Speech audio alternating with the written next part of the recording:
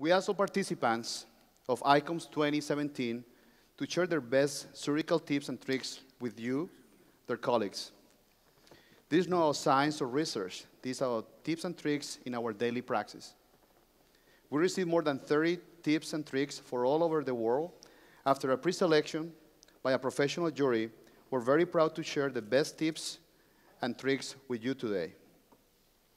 So notice that this is a competition, and the winner of the best tip and trick will receive a beautiful award, which you will see there, the glass ball, and a $1,000 cash reward. So there is something at stake. We have five members of the jury, and all of them are young colleagues from all over the world. And they will decide who has the best tip or trick. They will each judge the impact, originality, and significance of the tip or trick. And Dr. Deepak Krishnan will chair this jury. The amount of points each tip or trick will get decides who will be the winner. Of course, we wish all the tip and trick presenters good luck and hope for you that you can use some of these tips and tricks in daily practice. I would like to welcome our first tip and trick presenter, Dr. Michael Abba from Israel. Please give him a warm welcome.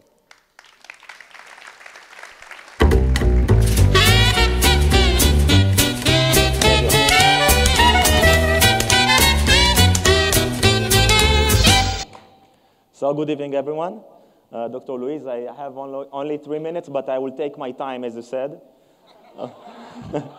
okay, so uh, I am Dr. Michael Abba. I'm from the Oral and Maxillofacial uh, Surgery Department in uh, Ashkelon, Israel, and I work under Professor uh, Oded Nachlieli, who is uh, also the head of the department. We do minimal invasive surgery, and we are leading in the field of salivary gland surgery and I would say also in creativity. Uh, so, yeah, this is the first slide, and we can move to this one. And as you probably know, Israel is uh, leading in uh, high-tech development and creativity, and um, we have a special device we developed, and this is the first launch, worldwide launch of this device, so I'm very, very proud to show you this, this device. So we have the problem, we perform surgery of the uh, floor of the mouth and we have the tongue there. The tongue is really a disruptive uh, organ that we cannot uh, move. We have all sorts of conventional retractors. They have all sorts of uh, uh, advantage and disadvantages. And we felt the need to have something that is custom made, creative, so we can use for our users. And now I will show you uh, this device, and uh, please watch the movie. The chef prepares a special menu for your delight, oh my. Tonight you fly so high up in the vanilla sky. Your life is fine, it's sweet and sour, unbearable. This is your day.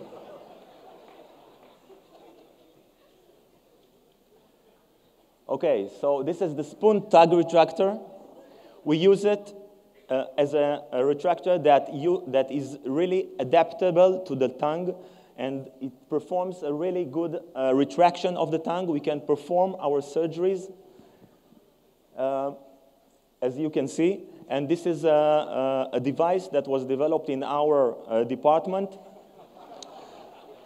We even use this device when it's used as a spoon in order to retract the globe. And I really, uh, it is really one of the best retractors we have been uh, using. Uh, it anatomically adapts also the globe. And today, this is a part of all our surgical devices. Thank you. Okay, so now another uh, small thing before I uh, step off this, uh, this uh, stage. Stephanie, I'm sorry if I'm a little bit late. Before stepping up, my boss came to me and uh, told me, uh, listen, Michael, if you don't get the 1,000 bucks, you don't have a place to go back. You stay in Hong Kong. so take this in consideration. So, Thank you. Dr. Abba, for this ingenious instrument. Can Dr. we have Abba? the clicker back? The clicker. That would be very nice. Yeah. You'll get you'll get something. No worries. Thanks so much. what an ingenious instrument. Everybody should have this. This amazing. We are very curious to hear the story of our second Dexit speaker. She's going to lift us up and see the world from a different point of view. Please welcome Dr. Jocelyn Shand. And he sang as he shoved that jumbuck in his tucker bag. You'll come a waltzing Matilda with me. Waltzing Matilda, waltzing Matilda. You'll come a waltzing Matilda with me. And he sang as he shoved that jumbuck in his tucker bag. You'll come a waltzing Matilda with me. Good afternoon. This afternoon, I'd like to share some of the talents and the achievements from people from Oceania. What you have to remember about Oceania is that we occupy an exclusive and distinct part of the globe. In 1930, it took six weeks by boat to travel between Australia and England, and it still does today. That's just for retirees.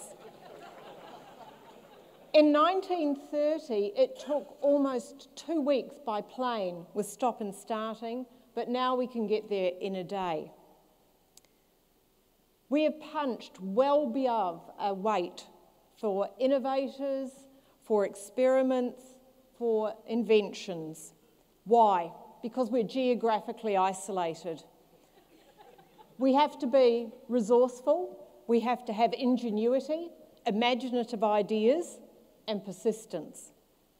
These are some of the game changers you may not know came from Australasia.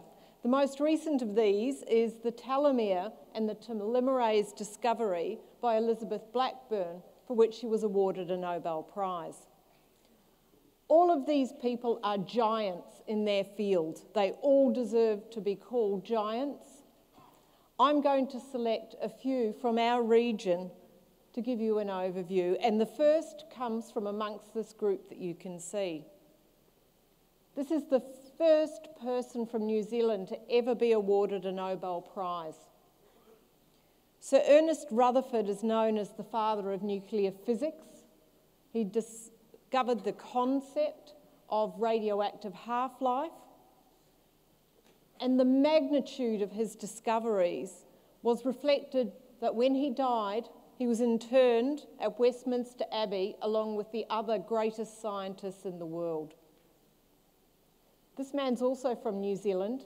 He's the third man working in the area of DNA and X ray diffraction. He, along with James Watson and Francis Crick, was awarded a Nobel Prize for the discovery of the double helix. An iconic surgeon. Born in Dunedin, New Zealand, which is my hometown, he's an ENT surgeon who would become the father of plastic surgery. He worked through two world wars, and during World War I, he focused on facial injuries. He developed and helped to create craniofacial surgery. He attempted the first Le Fort 3, and that technique was taken by Paul Tessier and refined. Sir Harold Gillies had a cousin. He was also from Dunedin, and he became a plastic surgeon. Sir Archibald McIndoe revolutionised the care of facial injuries and burns during World War II. The soldiers that he cared for at the Queen Victoria Hospital knew that they had a pioneer and they called themselves the guinea pigs and they established the renowned Guinea Pig Club. This man has saved millions of lives, and he continues to do so today. Professor Howard Florey followed in the footsteps of Sir Alexander Fleming. Fleming discovered the mould that had antibacterial properties, but it was Florey who took that and created the first medically usable form of the drug we call penicillin. The world's most famous beekeeper. In 1953, Sir Edmund Hillary and Tenzing Norgay summited Everest.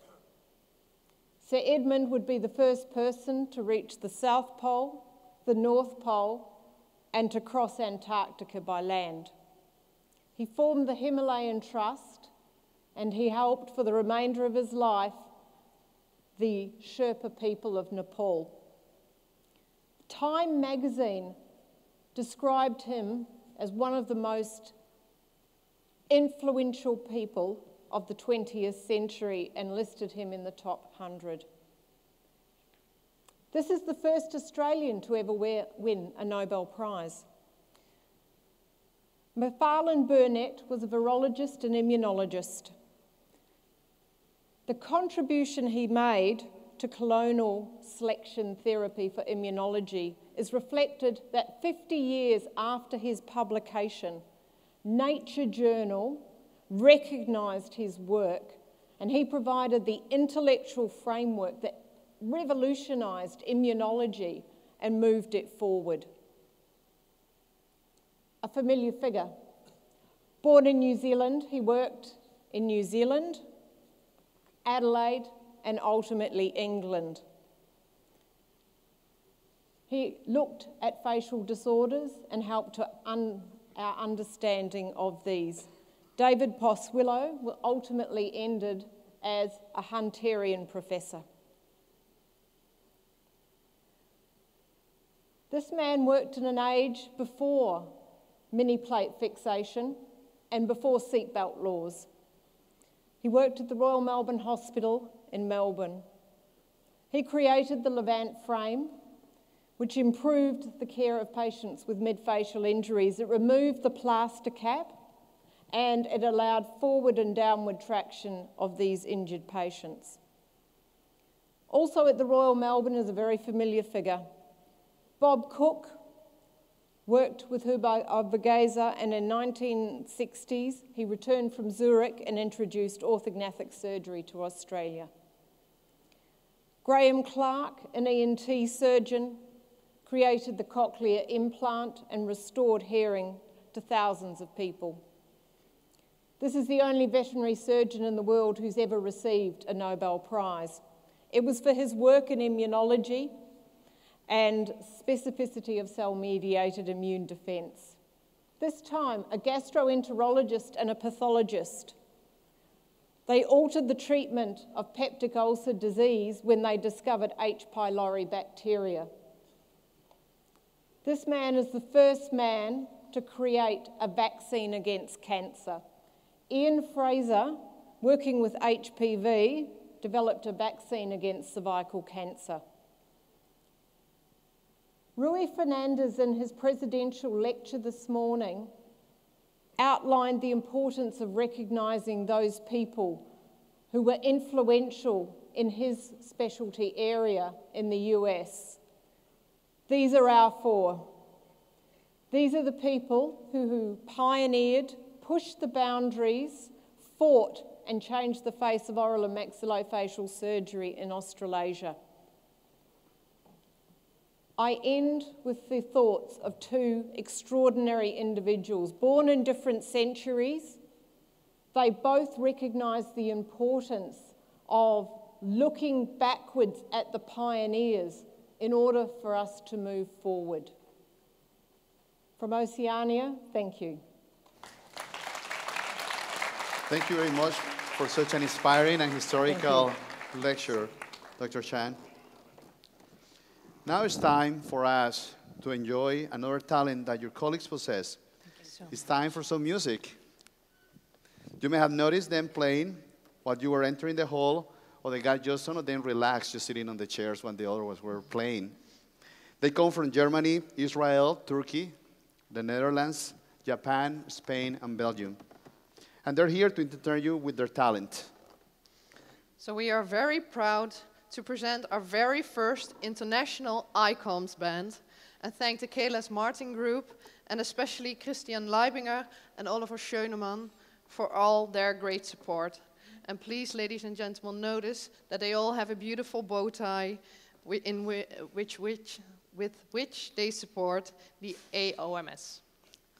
So, ladies and gentlemen, isn't she lovely?